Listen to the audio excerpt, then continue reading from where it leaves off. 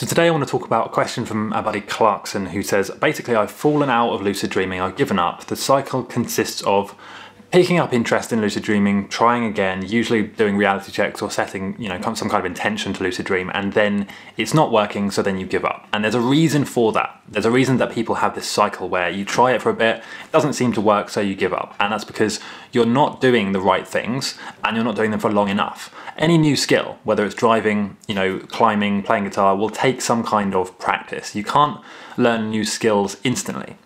As awesome as that would be, that's just not the case. You know, I'm sorry guys, but that's not the case. You can't learn something that quickly. And lucid dreaming is no exception. Most of you watching this have not been building up the self-awareness practices you need. You haven't been meditating enough. Maybe you've done it a bit. And the same with reality checks. Maybe you've done a few reality checks, but maybe you haven't done them with enough mindfulness to actually make them show up in your dreams. and to be honest, it could be any number of things that are the reason why you can't lucid dream, but this seems to be really common, that people like this guy and many others will uh, get interested in lucid dreaming. You'll be inspired, you'll watch videos and read books, you'll you know be posting like on Twitter and Reddit about all these cool things you're gonna do.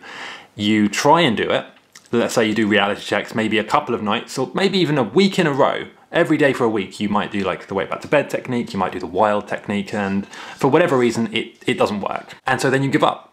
And that seems to be the cycle that a lot of people are repeating. Well, here's how to break that cycle. Number one, you need to, like with anything else, okay, you need to commit to a certain length of time before you begin.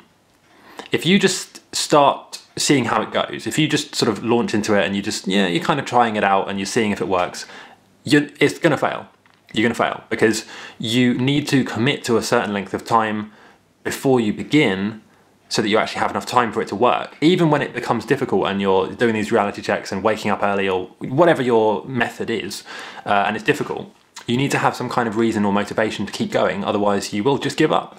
And then maybe six months later you'll try again, maybe two years later you'll try again. You're not going to get anywhere with doing doing it like that. Uh, so commit to doing, in my opinion, one or two months, right? And for that one or two months, you're going to practice something every day. Every single day for that two months, you'll practice something. And it might be reality checks, it might be that you write down in your journal, you might meditate, okay? You're going to do something that will try and bring you closer to lucidity every single day for those two months. Commit to doing that before, and then you're much more likely to have some kind of results in that time. Okay. Number two, you're not trying the right things. So a lot of you will focus on the technique, and by, by, technique I mean like the wild.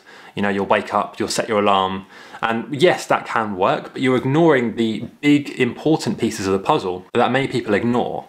The fundamentals, the basics, right? What you're actually building this on. You need to tell or trick your mind to become aware in a dream. So even if you're trying all of the techniques in the world at the right times, that won't work unless you set your intention strongly enough to lucid dream and to actually engage your prospective memory, okay, your memory of uh, your ability to remember to do something in the future. So in this case, the your prospective memory would need to remember to do a reality check in the dream.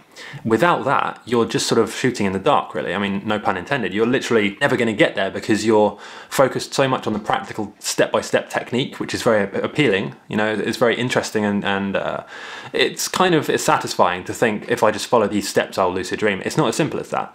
You need to and yes, you can follow certain steps, but you need to really focus on the important intention. The intention to actually remember to do a reality check in a dream, to, to actually remember to be aware when you're dreaming. That is the important thing, that's what techniques like the DILD and the mild are focused on.